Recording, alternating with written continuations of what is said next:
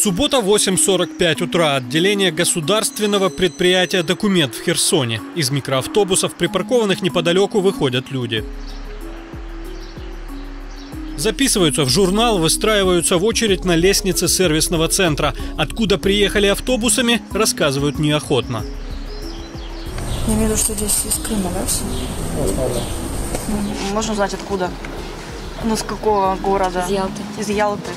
А здесь из Крыма? Хорошо, хорошо, Или нет, не знаете? Из Крыма?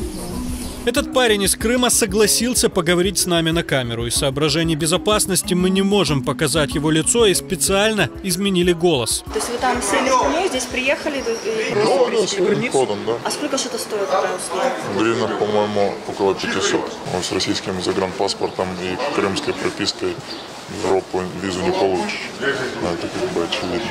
Потому что, сами знаете, санкции, все эти дела. Крым то ли оккупированный, то ли российский, то ли украинский, то ли война. Ну, ничего не понятно. Внутри сервисного центра людей в очередях направляет вот этот человек возле входной двери. Говорит, помогает в очереди по собственному желанию, работает водителем, возит из Крыма желающих получить украинский загранпаспорт. Его привез, два человека у меня было, ну, А вы как много сейчас крымчан? сто процентов. Как крымчане централизованно автобусами ездят за паспортами в Херсон. В сообщении в Твиттере, с которого мы начали расследование, упоминается компания «Бас Панда». На сайте предприятия с доменом «ру» отдельная закладка оформления украинских документов. Дело поставлено на поток. Звоним и спрашиваем, можно ли съездить за заграничным паспортом на материковую Украину и сколько стоит такой вояж. Это не рейсовый автобус, это маршрутки. Ну вот, то есть, а, 18-местные, принтера.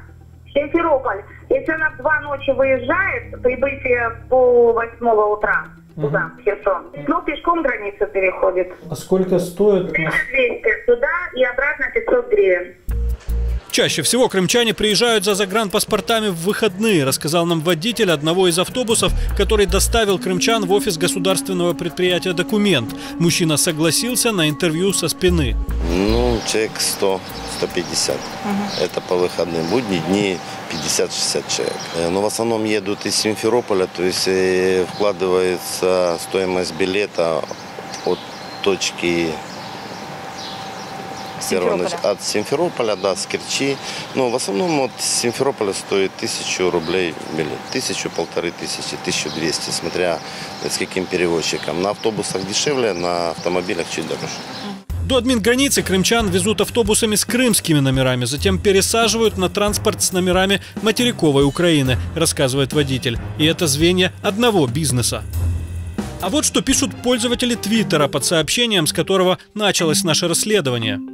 А как же мечта паспорт с курицей? Да и бандерасов не страшно. Не гребите всех под одну гребенку. Или считайте в Крыму и Донбассе всех предателями. Путину верите? Но если честно, то они нам жить не дают. Мало того, что в паспорты не попадешь, так еще и аптеки и магазины выносят. Из-за этого и цены выше, чем по Украине. С ваших слов выходит, что все, кто проживает на оккупированных территориях, предатели. Тогда вы со Сталиным и с коммуняками одной точки зрения. У меня знакомые через неделю собрались ехать. Съездят, тоже отпишу со слов первоисточника. Буду делать биометрику и загран.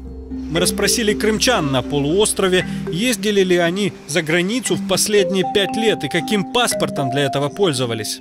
И три Балтуки и Германии по биометрическому украинским паспорту.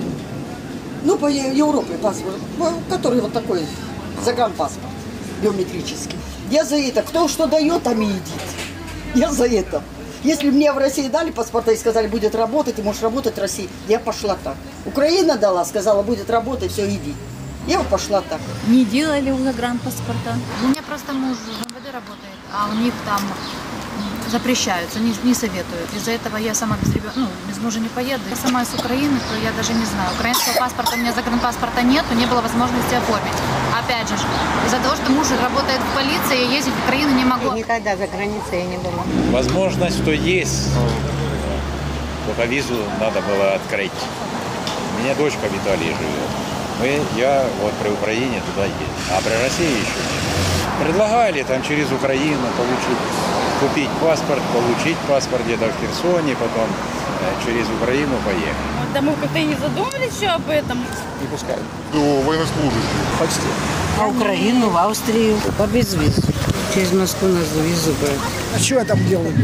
Ну, это не надо. А нам зачем? Ну, за границу зачем я поеду? Не хочу. Я в Абхазии когда-то был. Ну, а что мне там делать? Я в своем родном городе лучше какой. Вот смотри, сколько денег платят, чтобы сюда приехать, отдохнуть. А я здесь живу. Во-первых, севастопольские загранпаспорта нигде не действуют. Это раз.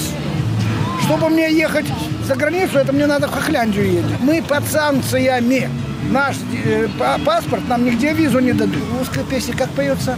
Не нужен нам берег турецкий, и Африка нам не нужна. Никогда не выезжала и не собираюсь. Я всю свою страну объездила до, всю, до Камчатки. Нет, вот мы живем за границей. Но украинские загранпаспорта выдают не всем крымчанам. Нежелательных лиц просто не пропустят на админ границы, и в Херсон они не доедут, объясняют в Госпогранслужбе. Ми користуємося нашими Мы пользуемся базами данных, где есть информация в том числе и от других правоохранительных органов, о лицах, совершивших преступления и разыскиваемых. Также мы обращаем внимание на граждан, которые едут впервые, никогда не ездили, а тут вдруг гражданин едет. В наших базах данных содержится информация о тех паспортах граждан Украины, которые остались невыданными на момент оккупации. То есть это чистые бланки, которые остались там и, соответственно, информация об этих документах также внесена в наши базы данных. Если гражданин появляется с таким документом, это повод для обстоятельной беседы. ну, змістовної бесіди.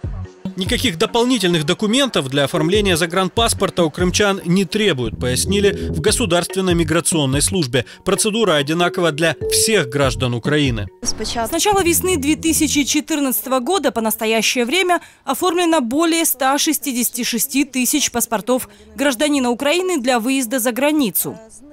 Из них более 78 тысяч заказаны из подразделений Херсонской области. Главное требование миграционной службы – крымчане должны подтвердить свою личность и свое украинское гражданство. Дмитрий Евчин, Ирина Домащенко, Никита Исайко, Крым Реалии.